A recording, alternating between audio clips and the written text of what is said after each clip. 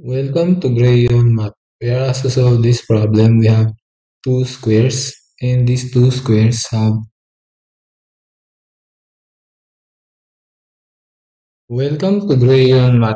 We are asked to solve this problem. We have two squares and these two squares are put side by side and a diagonal is drawn from this point of the smaller square to the point of the larger square and another diagonal is drawn from the intersection of this the first diagonal and the point of this larger square. And the side lengths of the squares are 6 and 4 we are required to find the area of the shaded region. Okay so first thing that we have to notice is that these two areas are actually composed I mean the area is composed of two areas which are right triangles and notice that the smaller right triangle, this one, is actually similar to this larger right triangle, this white right triangle, because of this vertical angle and this vertical angle, and this is 90 degrees, and this is 90 degrees, and this is another angle corresponding to each other that are congruent to each other. So by angle-angle-angle theorem, these two triangles are similar. Okay, so to find the area of these two triangles is, since they are composed of two uh, triangles, then this first triangle, we just add to the area of this second triangle. But since we all know their bases for this larger blue triangle is 6, and the height is this length, and this other length for the smaller. So we just need to find this length first. Let's call this as x. And that will be easy to find the area of the blue region in total. Okay, so if that is x and this is 4, because the side length of the smaller square is 4, and this is actually 4 minus x because the total is 4 so we have 4 minus x.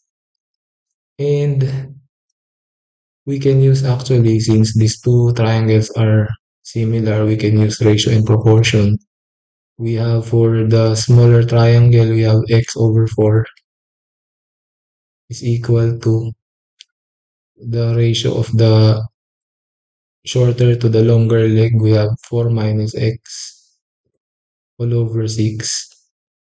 So we have 6x is equal to 4 times 4 minus x. Then we have 6x is equal to 16 minus 4x. Then we have 10x. If we put this negative 4x to the left hand side, it becomes 10. So this becomes 16. So if we divide this by 10, both sides, then we have x is equal to 16 over 10. And we divide by 5. So we have x is equal to 8 over 5 units.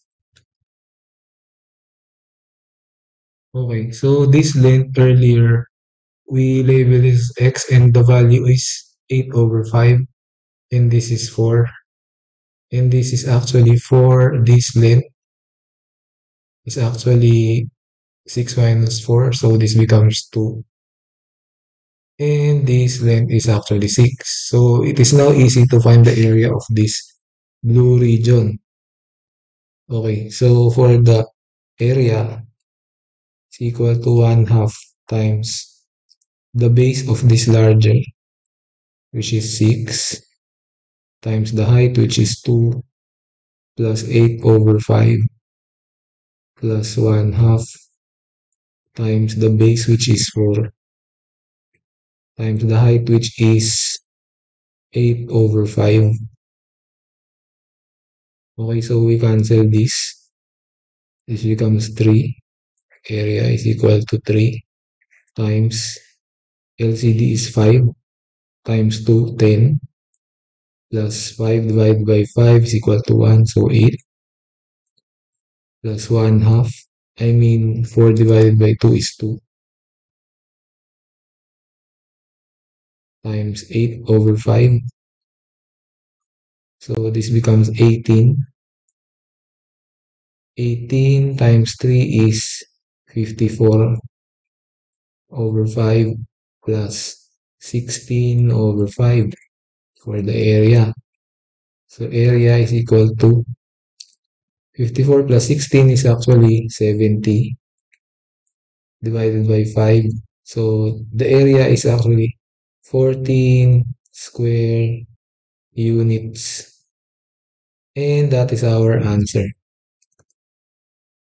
So thank you for watching until the end of the video. Please like the video if you like our solution and don't forget to subscribe to the channel and hit the bell icon so you will be updated for more math videos like this. Thank you. Bye.